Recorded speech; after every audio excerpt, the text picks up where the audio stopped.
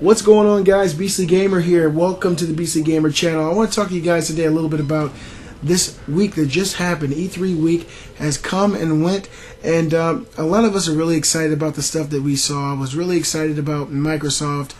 I was surprisingly excited about Nintendo. I think Sony did a really good job. So I think for everybody out there who's a gamer, E3 showed some really promising stuff that we all should be smiling about. I want to talk to you guys today a little bit about the Microsoft E3 conference and give you my thoughts on it. And I also wanted to hear your thoughts on it because uh, they came out guns ablazing. They came out swinging. They did non-stop gaming for 90 minutes. Phil Spencer is very, very personable, and I, I really appreciate that. Someone talking to the audience that feels relatable. He didn't feel like a robot. He felt like somebody who cared about games, and he talked about it passionately. And uh, it came across really well for me. They also announced the uh, the price drop for the Xbox One at 399 with no Kinect. So that's been available since E3 as well. A lot of good stuff came out of E3 Microsoft conference. I want to go through some of my favorite moments at E3 2014 coming from Microsoft.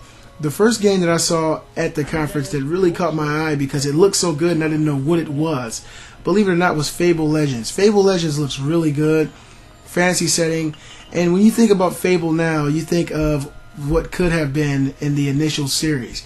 Because we were promised as gamers that with Fable you would have infinite possibilities of controlling the world, and it ended up being, well, basically falling short of that premise.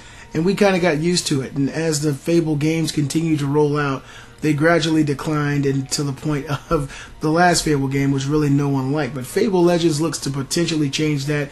The game doesn't look uh, to focus on every aspect of the world that you can change. It seems to focus more on the teamwork dynamic, three players playing the game together.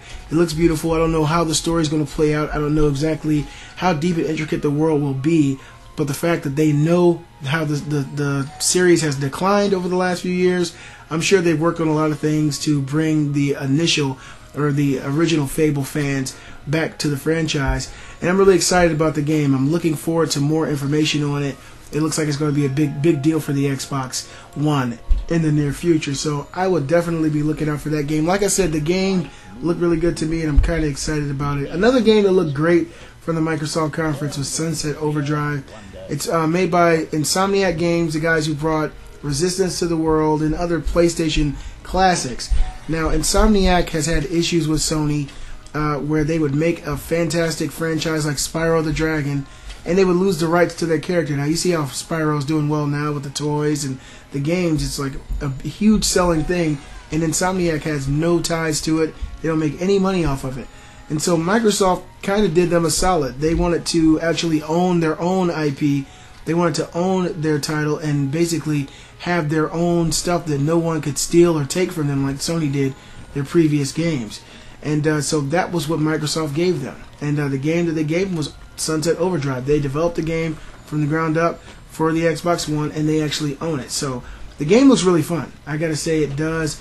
It kind of reminds me of Jet Set Radio, maybe you know, with with mutants in the world. Uh, it looks really fun and fast, and when you see games that are colorful like this, and you're running around shooting enemies, it just makes you feel good. It makes you feel excited. It looks like a really fast-paced game, and uh, I'm excited about what Sunset Overdrive will bring to the Xbox One because God knows we need games for all these next gen consoles. So yeah, Sunset Overdrive, I thought it looked really good. I thought that the uh, gameplay they showed looked great, and I'm excited to see what they bring from this game. Insomniac is a hell of a studio, and I'm really excited to see whatever they're able to do with the Xbox One and this new franchise. Another game that was big for the Xbox One, not quite as big for me, uh, is Forza Horizon 2. Now, Forza Horizon is different than the, you know the previous game, Forza 5, uh, in in the sense that you can actually go off road and it's more of an open world environment. The game does look really good. I got to say that you know these racing sims, for some reason, they always seem to be almost photorealistic because you don't have to put too much into it other than the the modeling of the cars and the environment. Not too much more going on. I'm just not that big into racing games. I mean, I'll play them, but I won't be, you know, pre-ordering any racing games. It's just not my style. More into kart racers. One of the games that Microsoft showed that really blew my mind and made me, it took me back to, to films. it took me back to stuff like uh, Studio Ghibli Spirited Away, was Ori and the Blind Forest. This game looks phenomenal. It looks very story driven and atmospheric. The the main character, I don't know what it is, but it looks like something from Spirited Away. And there's this evil dark owl that you have to escape. You have to basically get out of the forest. That's the uh, theme of this game. And there's this dark owl that follows you throughout the game. Its name is Kuro, and it looks very creepy.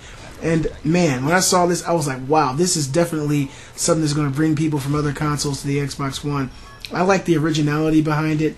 The entire world is hand drawn. It looks seamless and very beautiful. It's like a world you would want to spend a lot of time in. And I'm really excited about it. It looks great.